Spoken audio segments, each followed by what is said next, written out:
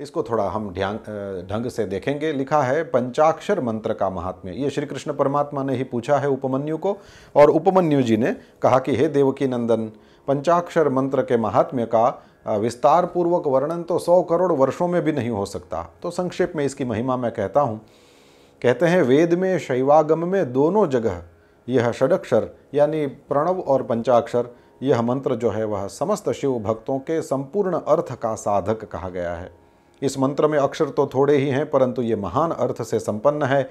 यह वेद का सार तत्व है, मोक्ष देने वाला है और शिव की आज्ञा से सिद्ध है।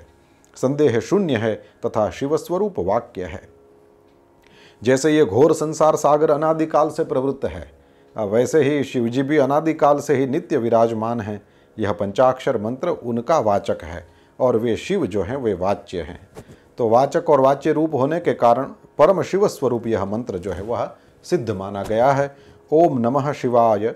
यह जो षडक्षर शिव वाक्य है, इतना ही शिव ज्ञान है और इतना ही परम पद है। यह शिव का विधि वाक्य है, ये कहा गया है।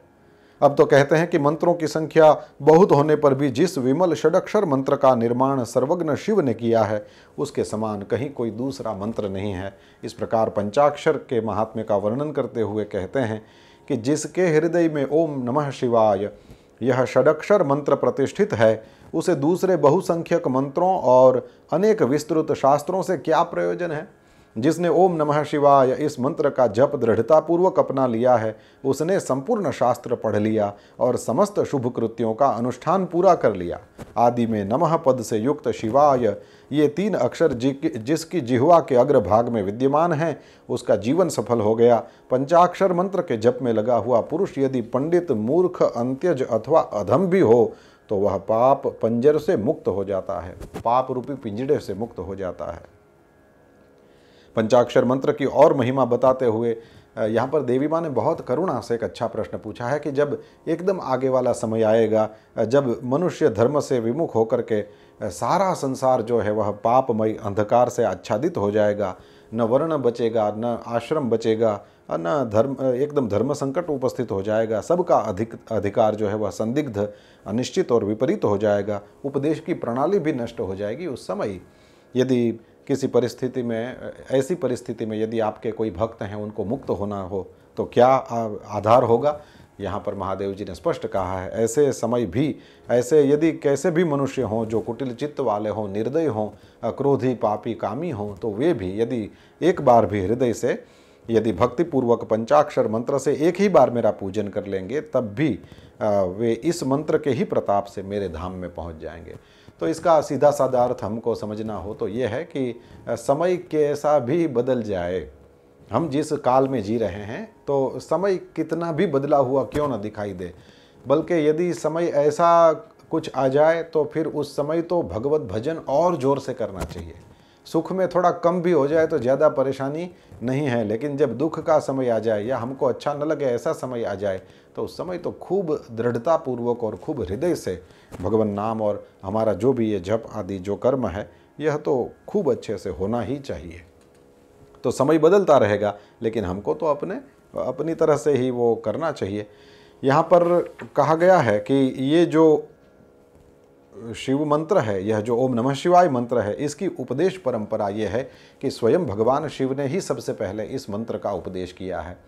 पहले शिष्य कौन है इनके बोले, यहाँ पर लिखा है ब्रह्मा जी ने वो मंत्र प्राप्त किया, फिर ब्रह्मा जी ने ऋषियों को दिया तो इस प्रकार इसकी उपदेश परंपरा बताया है।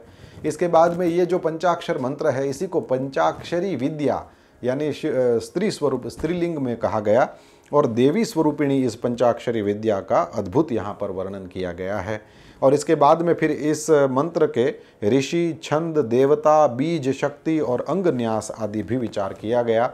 एक एक अक्षर का है। गौतम, अत्रि, विश्वामित्र, अंगिरा और भरद्वाज, ये नकारादि वर्णों के क्रमशः ऋषि हैं। एक एक अक्षर का एक एक ऋषि है। फिर गायत्री, अनुष्टुप, त्रिष्टुप, बृहति और विराट, ये क्रमशः पाँचों अक्षरों के छंद है।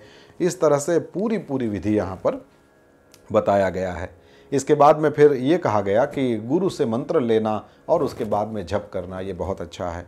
जिसके दीक्षा नहीं हुई है उससे यदि किसी की दीक्षा हो गई हो तो ऐसे व्यक्ति को वो जप करना यहाँ तो शिव जी कहते हैं करोड़ गुना अच्छा है दीक्षा लेकर के जप करना।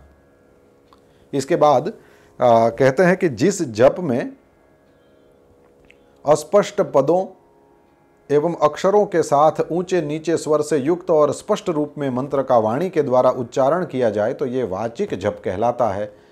और फिर जिस जप में केवल जिहवा मात्र हिलती है अथवा बहुत धीमे स्वर से अक्षरों का उच्चारण होता है, तथा जो दूसरों के कान में पड़ने पर भी उन्हें कुछ सुनाई नहीं देता, ऐसे जप को उपांशु कहते हैं। जिस जप में अक्षर पंक्ति का एक वर्ण से दूसरे वर्ण का, एक पद से दूसरे पद का और शब्द तथा अर्थ का मन के द्वारा बारंबार चिंतन मात्र होता है, वह मानस जप कहलाता है। वाचिक जप एक गुना ही फल देता है। उपांशु जप सौ गुना फल देने वाला बताया जाता है। मानस जप का फल सहस्र गुना कहा गया है।